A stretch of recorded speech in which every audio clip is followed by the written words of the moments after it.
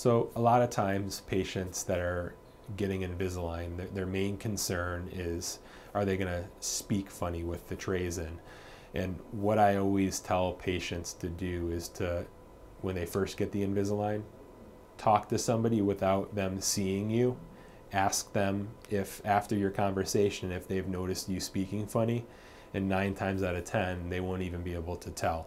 So a lot of times the tongue is very tactile sensitive. So your tongue picks up that there's a little bit more thickness to the tray on the back side of the upper front teeth.